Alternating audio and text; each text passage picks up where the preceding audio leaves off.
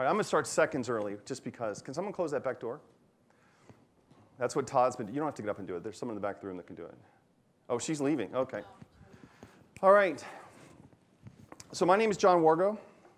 I am I'm a principal analyst at Forrester Research, and the topic of today's conversation is Apache Cordova. And apparently, I wasn't very enticing in my um, in my title. They asked me if I want to come present on the topic. I'm like, what do you want me to write about? What it is, what it does, and how you use it? They go, yeah, that's fine. So I made that my title.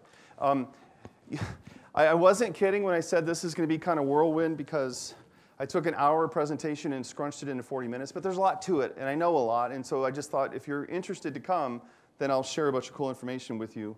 Uh, there's my agenda, okay? Everyone got that?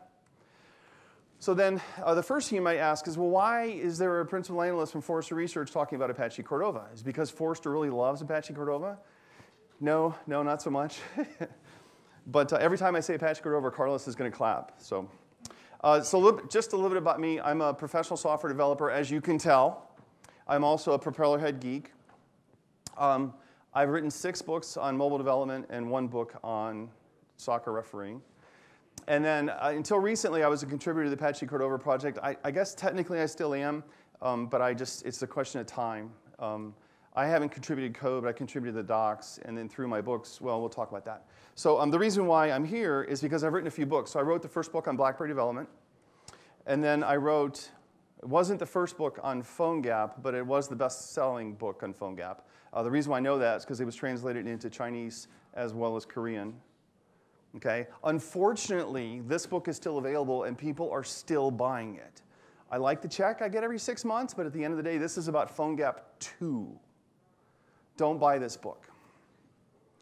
Uh, I wrote Apache Cordova 3, which, 3 programming, which is pretty cool, API cookbook, and then my most recent book is Apache Cordova 4 programming. And so with Apache Cordova 4, I wasn't kidding about the parting gifts. With Apache Cordova 4 programming, this is 500 pages. The API cookbook is 300 pages. It's 800 pages on Apache Cordova. So that's why I'm here. I may or may not be an expert on Apache Cordova. And there's my soccer refereeing book. And I also, being an old developer, I'm an IBM Lotus Notes and Domino guy. And I wrote 22 articles for Lotus Notes Developer magazine about how to, all the possible ways I could figure out how to mobilize Domino, and they published 18 of them in an anthology. So if you weren't convinced before that I'm a geek, now you know. So, so what is Apache Cordova? And, and this is from uh, the webpage, essentially. It's an open source framework for building cross-platform mobile apps using HTML5. Actually, um, you can cross the word mobile off because it now supports, well, it supported Windows and, and uh, OS X for some time, right? So it started as a mobile-focused framework, but now it can kind of support anything, although the, the uh, OS X support disappeared. And it started back in 2008, um, something called iPhone Dev Camp by a company called Nitobi. And they uh, built iOS, and then they quickly added Android and um, BlackBerry support. Basically, a bunch of geeks got together for a weekend, and they, they wanted a way to do cross-platform, and the easiest way they could figure out how to do it was just to use web and then have a native runtime for each. In 2011, they donated the project to the Apache, uh, Apache Foundation. Um, they, first, they called it Callback, so if you're a JavaScript developer, you know why. Then they called it Device Ready, and then they switched it to Cordova. Anyone have any idea why it's called Cordova? Anyone? Anyone for a prize? Except for Carlos. Anyone? No, no. So um, it's, the, it's the name of the street that Nitobi was on in uh, Vancouver. And then, so literally the next. Cordova, yeah. Well, it depends on how the Vancouverians say it. Vancouverians? How those people up north. So um, very quickly, literally, I think the next day, they donated, I'm sorry, Nitobi got acquired by Adobe. And so um, really pretty interesting how, they, how well they support it. But ultimately, what I think happened was, at the time, IBM was a big uh, investor in Cordova, World PhoneGap at the time. And I think they had to donate it to Apache so that IBM and the other companies were comfortable with Adobe buying Nitobi. That's how I see it. And then originally the plan was for Cordova, or PhoneGap is what it was called at the time, the plan was for it to make itself obsolete. So the idea is that we're going to build this interface that allows you to build web apps to talk to native APIs. But then once the browser has those capabilities, and they're all coming, they've all pretty much shown up over time, then Cordova is going to disappear on its own. Well, that didn't happen, and I can explain why in a few minutes. Was I okay about the energy level? Was I right about the level I give you? Okay. So what's interesting is that the smartphone industry is heavily involved in Apache Cordova. Okay, uh, pretty much everybody but Apple is involved. No, it's funny, but it's also sad at the same time, right? But um, so Adobe has 10 people or so. IBM has 10, 12 people working on it. Five? Well, they've been more before.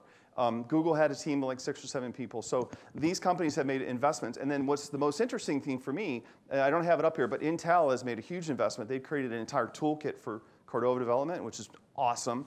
And then Microsoft, it just, I mean, you heard the keynote this morning that you know, Microsoft is involved in so many aspects of open source. They've built, the, as far as I'm concerned, the best tooling for Cordova for iOS and Android development. Microsoft. It's really cool. So let's talk about the geeky tech stuff. So I mentioned it's an open source framework, and basically what happens, and the reason why I'm kind of telling a story this way is I believe that a lot of people misunderstand Cordova.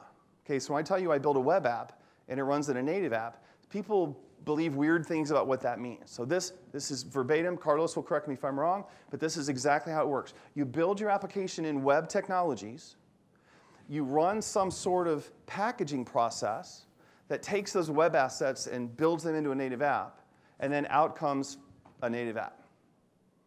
Now, there's people that think that there's some sort of um, transpiling that happens or somehow the, the web content is converted into native stuff. Absolutely not. The web app is running inside a native container nothing else. Okay? And you might say, well, big deal, right? Am I moving around too much for you?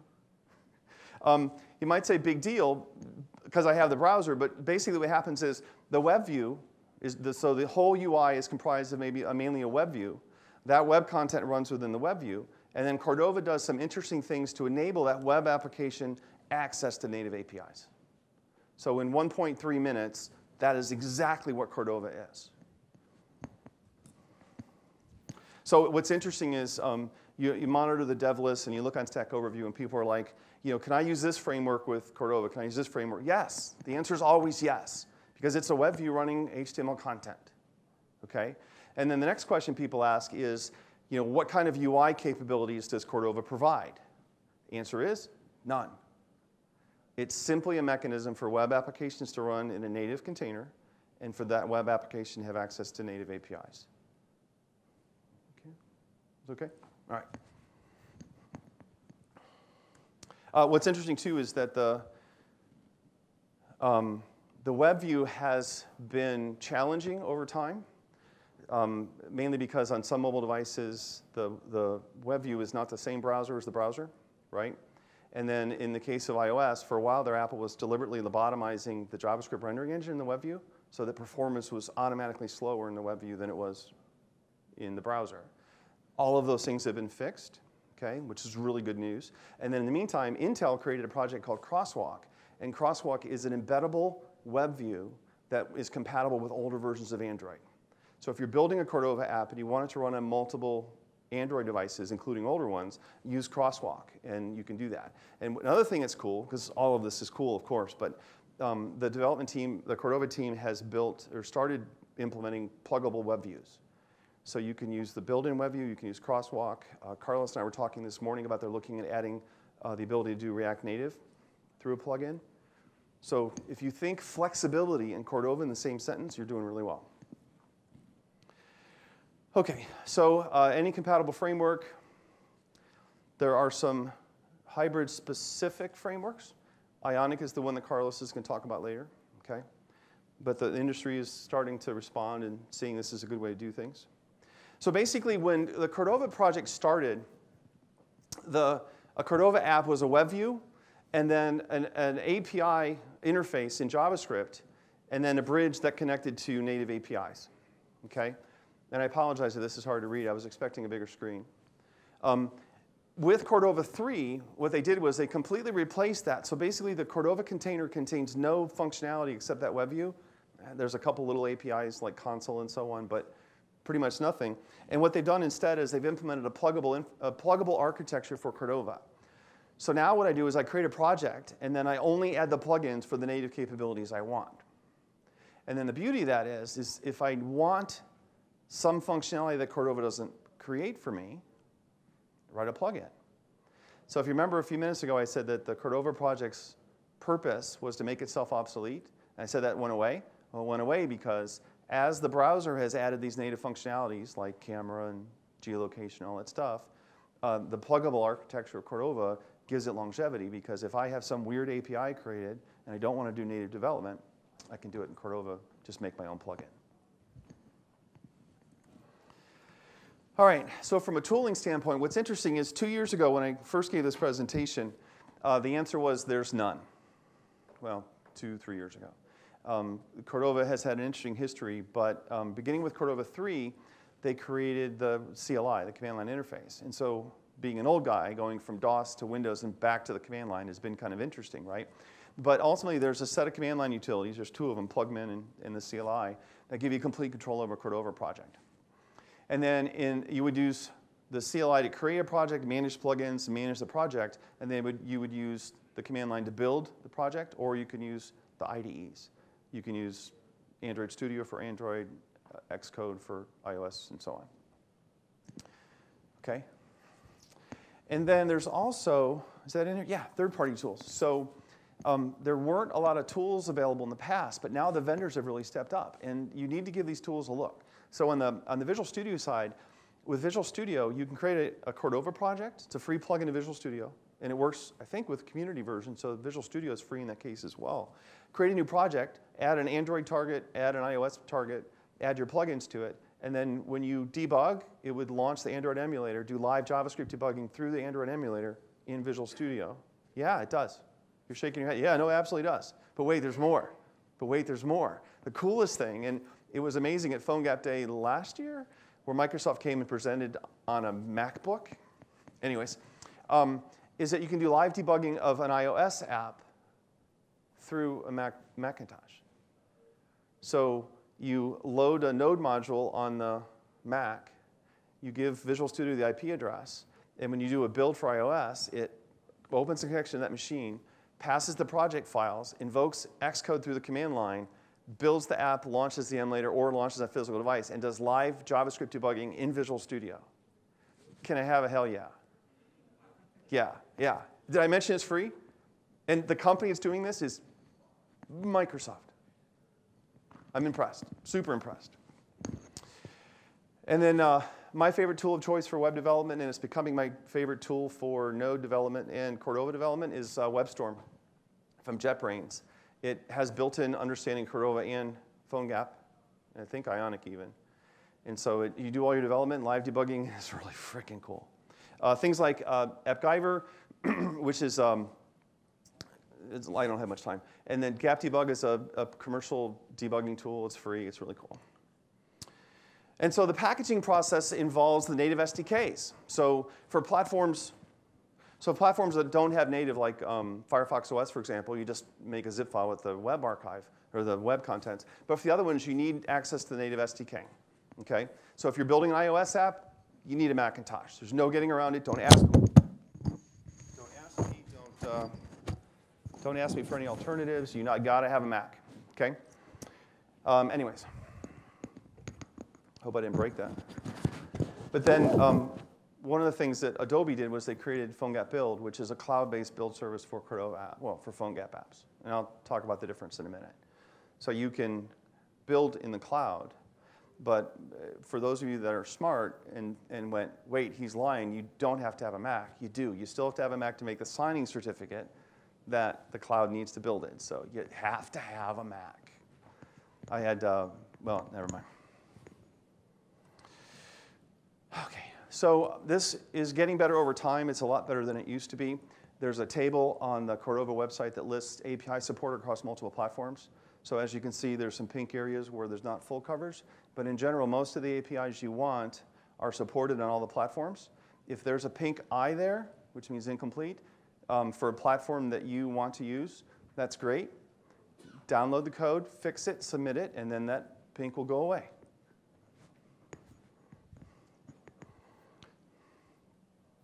Um, we get questions all the time about the app stores. Can I put my Cordova app in a web store? Absolutely, because it's a native app.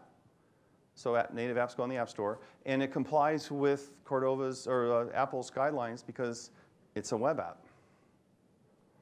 Uh, there are platforms that allow you to replace the content in a Cordova app over the air.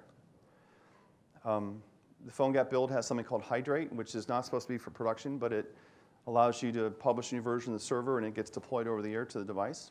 Uh, I used to be product manager for the SAP mobile platform the hybrid SDK, and it has a capability that allows you to do app update over the air. So um, it's really cool. You can build an app, deploy it, and then update the web content later without doing an App Store update. Uh, that Apple has a problem with. All right, so I mentioned PhoneGap versus Cordova. Here's the difference. PhoneGap, while the initial name for this project, uh, PhoneGap today is a product from Adobe, and it's essentially a distribution of Cordova. Um, until recently, until about a year ago, the PhoneGap CLI was different than the Cordova CLI, which is really confusing because the documentation wasn't different. But um, that's kind of been fixed. So what they've done is they've, they've taken Cordova, they've added some extra special sauce to the CLI. They've added the build service. There's the developer app. There's something called PhoneGap Enterprise. There's a, just some add-ons um, that Adobe's done to kind of brand PhoneGap as its own but essentially the two are interchangeable in my mind. Are you okay with that? Is it in your mind the same thing? Yeah.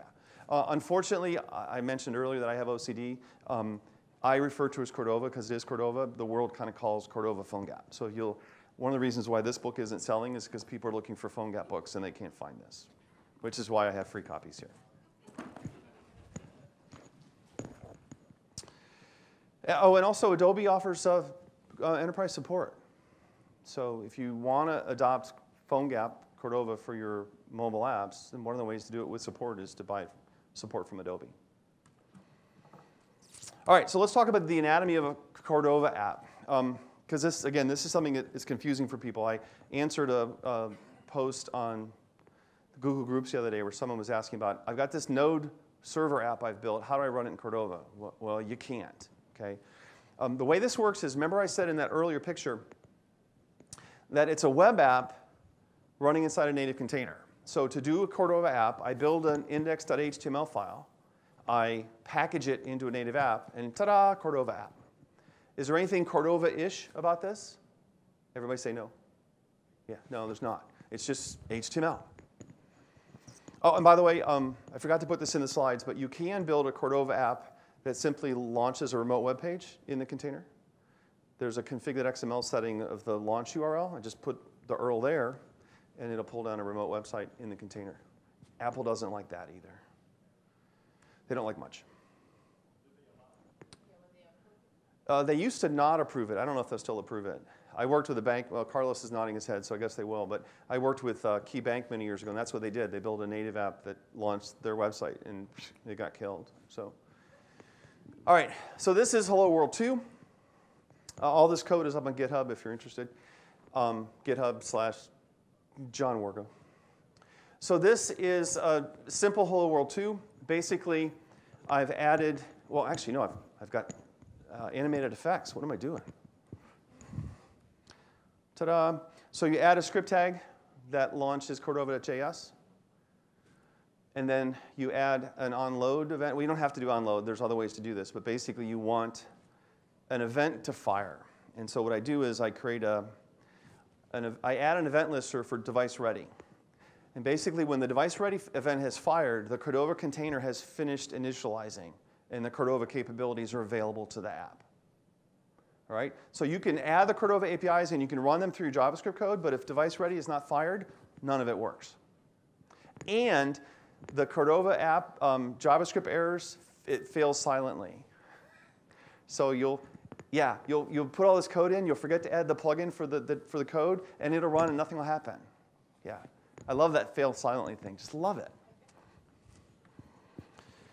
All right. And then um, Hello World 3.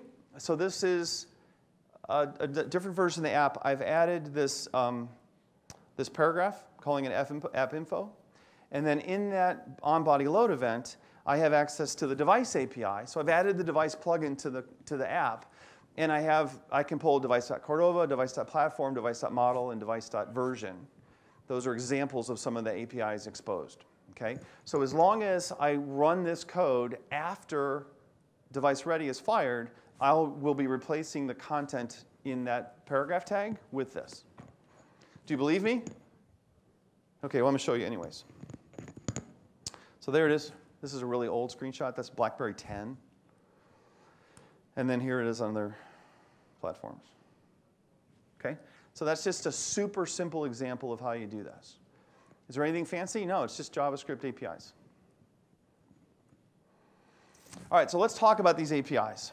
So originally when they did this, originally when they did this, um, they were custom APIs. So the camera API on Android was different than the camera API on iOS. Great. Um, and over time, they've, um, they've standardized it. They're trying, they used to try to um, standardize on the device, device API, um, W3C DAP, device API, proto, anyways. They were trying to standardize around what the W3C was doing. In the meantime, they've kind of abandoned that. Um, but they have, oh, there you go, Device APIs Working Group. Um, but now they're supporting whatever APIs that seem to make sense, and then they deprecate them when the capabilities become available in the browser. And pretty much all of them are plugins now.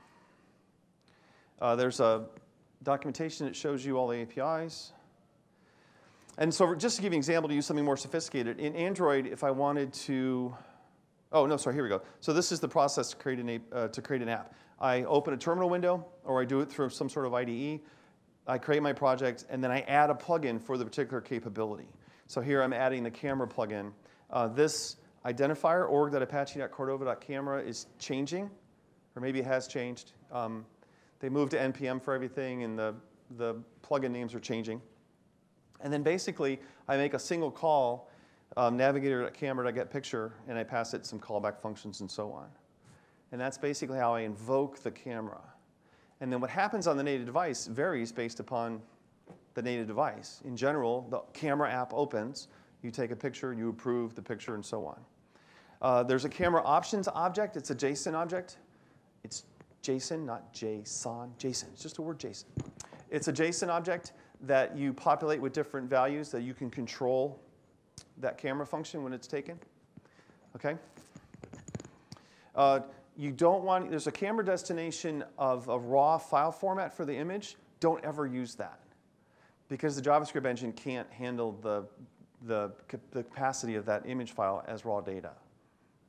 So, and then basically, it, here's an app that takes a picture. It brings up the camera app. You take it, and then you either retake or pick it. And then in this case, I pass back a file URL to the, to the app, and then I can do whatever I want with it. Make sense? Okay.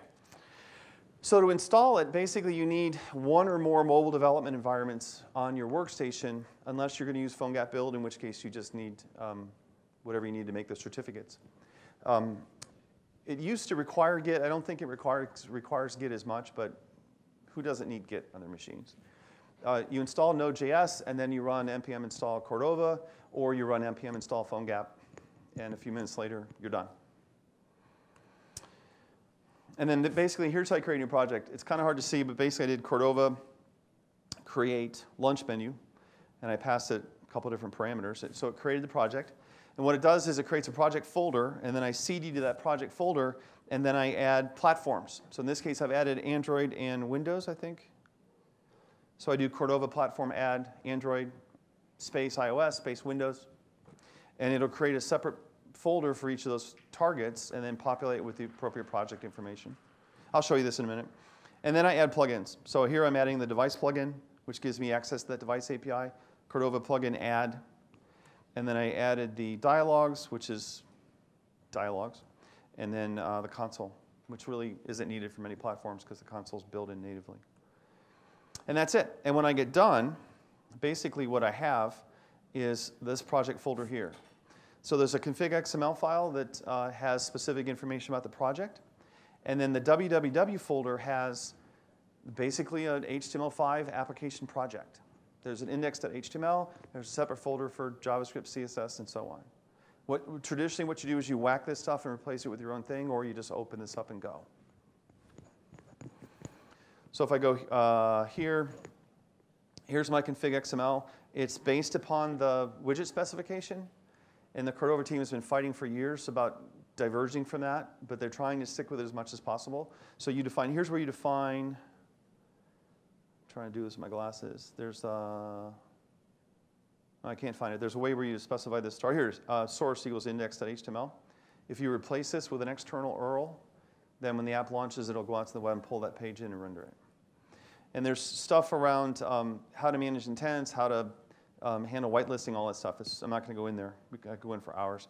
Uh, the HTML is just a, this is a boilerplate app that they include, but it's a standard. It's just standard stuff.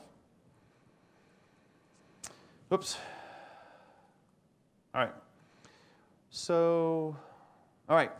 So if you go out in the wild and look around, uh, the PhoneGap website has a database of a bunch of different apps out there that have been built with it. Um, ultimately, because of the robustness of the JavaScript engine and the robustness of the third-party HTML frameworks, my personal opinion is you kind of can't tell whether it's a native app or a web app. Okay, um, you can probably tell, but at the end of the day, who cares, right? Can I, can I engage with my end user the way I want to in a way that makes them interested in still using my app? Yeah, okay, so it works. Uh, ooh. I'm trying to figure out my time here. I finished up early. Is there anything else I want to say? Yeah, we're good there. All right, so there's a bunch of resources available to you. Um, the, you can access, it's actually Cordova.io is a quick way to get there. It's the Cordova website. The, the reason why I wrote that first blue book was because I taught myself Cordova and I realized that the documentation was horrible. And um, it's gotten much, much better. It's really a lot more robust than it was. So I wouldn't worry about the docs. It's all pretty much there. Um, the, there used to be, uh, Cordova support was done at Google Groups.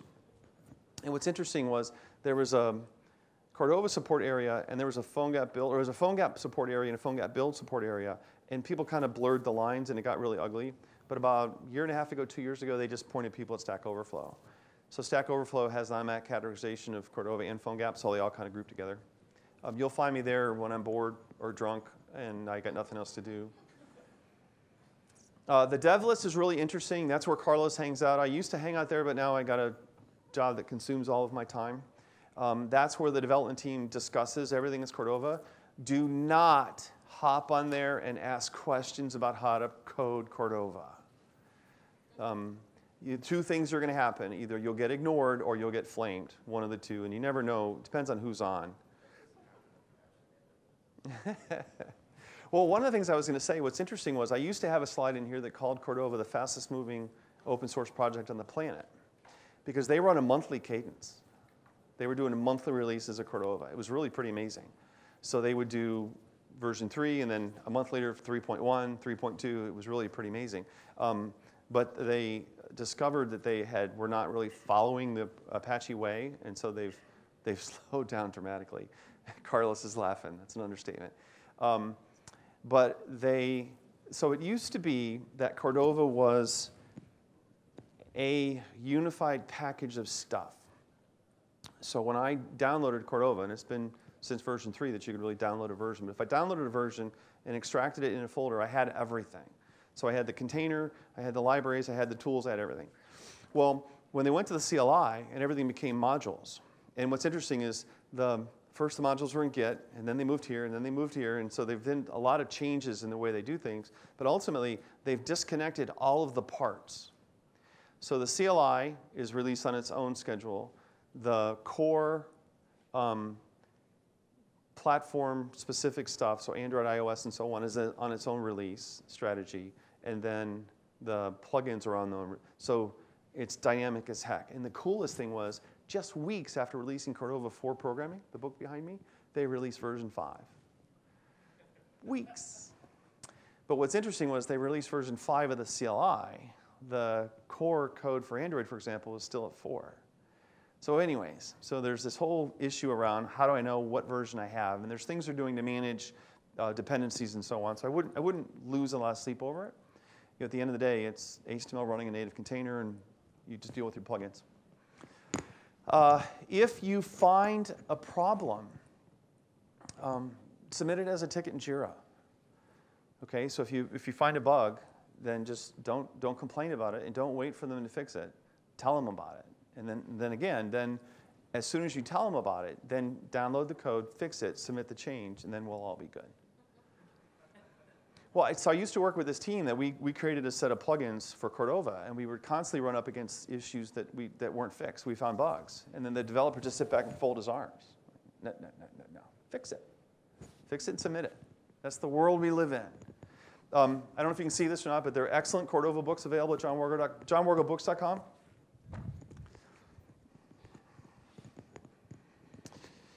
All right. Um, one of the cool, one of the coolest experiences for me has been PhoneGap Day. Um, so the Cordova, the, the core Cordova guys are from Vancouver, and apparently they really like beer. Am I right, Carlos? Carlos is not his set. Yeah, they really like beer. So if you attend PhoneGap Day, uh, everyone rushes through the morning presentation so they can start serving beer earlier. And so the beer comes out about 11:30 or so. But anyways, so it's uh, PhoneGap Day is a one-day conference. A lot of the Cordova committers are there. A lot of the corporate sponsors are there as well. And there's just basically a day-long presentation of, of different cool things people do in Cordova. So last year, last couple years, it's been in San Francisco. They've done one in Europe as well. This year, I'm sorry, they didn't have one this year. Uh, this year's event is next year. It's in Utah. So apparently everyone's going skiing. Um, what's interesting is when I went, was it, it, was, wasn't last year, it was two years ago. It, I, the, I, it was the drunkest presenter I've ever seen in my entire life. If you go to johnwargo.com and, and search for drunk PhoneGap Day presenter, you'll, you can see, you can watch the presentation, but it, it, I have never, ever seen a less professional presentation done at a conference. So it's, it's worth watching. Um, the other thing, there's a, a woman by the name of Lyza Danger Gardner. She's one of the authors of the mobile first book on HTML5. And she did a presentation on how to craft a Cordova app that's spot on, beautiful. It's absolutely wonderful. It's super fast, so you're gonna have to watch it twice to figure it out. But she just talks about her mental progression that she went through when she decided to take an app and put it in Cordova. And it's really, it was fascinating. Lyza Danger. Yes, her middle name is Danger um, Gardner. And then I just added this today. I, I, all this fun about my books and stuff is just, it's just an interesting sidebar. You can tell I'm passionate about Cordova. Um, the reason why I put this in here is because my publisher took the uh, chapter two from my latest book and it's available free online. So if you want to see the Hello World 1, 2, 3, 4 that I did here, but broken out and explained better, it's, there's a free PDF you can download and do it. And uh, my publisher has set up a, a, discount code. So if you go to informit.com slash open source, you can get 37% off uh, using that code, outsource37. So I'm sorry, almost 40% off on a book. Actually, 40% off on multiple books is worth at least spending an hour with me, right? Um, I would pretend that this code is only good for this week, but I think it's good for the rest of the year. So